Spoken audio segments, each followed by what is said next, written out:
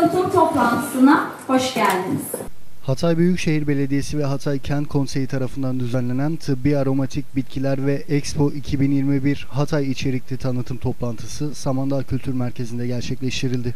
Toplantıda uzman biyolog Doktor Samim Kayıkçı ve Hatay Büyükşehir Belediye Başkan Danışmanı Ömer Faruk Çelebi tıbbi aromatik bitkiler ve Expo 2021 Hatay'ı anlattı. Uluslararası bir sistemle e, bunu dünya pazarlarına e, çıkarıp kendimizi e, tanıtmamız lazım. Kültür Merkezi'nde gerçekleşen toplantıya Samandağ Kaymakamı Cahit Çelik, Samandağ Belediye Başkanı Mithat Nehir, Hatay Kent Konseyi Başkanı Nevide Kimyon, sivil toplum kuruluş temsilcileri, muhtarlar, oda başkanları, meclis üyeleri, Hatay Kent Konseyi üyeleri, iş adamları ve çok sayıda davetli katıldı.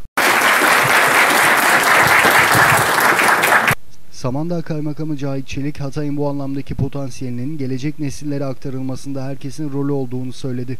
Samandağ Belediye Başkanı Mithat Nehir de toplantıda yaptığı konuşmada Samandağ'ın Expo'da görev almak için hazır olduğunu söyledi. Bu ilçemiz için gerçekten önemli bir e, imkan.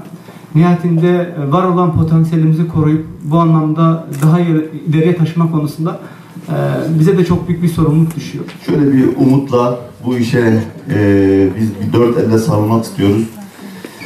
Tabii bir tarafta savaş, kavgalar, kıyametler kopuyor. Hatay savaş bölgesi acaba insanlar buraya gelir mi?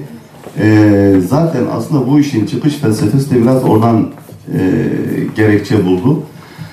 Bir şekilde Hatay'ın e, savaşın orta yerinde olmadığını, e, bunun ötesinde bir yerde bir e, çok da huzurun içinde yaşadığımızı ifade edebileceğimiz e, bir mekan olduğunu ifade etmemiz. Bunun üzerinden de acaba kentimize, kentliğimize e, daha nitelikli, daha vasıflı bir e, yaşam sunabilir miyizin derdindeyiz. Toplantıda Doktor Samim Kayıkçı ve Büyükşehir Belediye Başkan Danışmanı Ömer Faruk Çelebi hem Hatay'ın botanik zenginliği ile ilgili hem de Expo 2021 ev sahipliği ile ilgili sunumlar verdi. E, uluslararası bir sistemle e, bunu dünya pazarlarına e, çıkarıp kendimizi e, tanıtmamız lazım ki Arsus soğanı doğal bir soğan. O da dünyada sadece e, elimizde yaşayan e, bir bitki.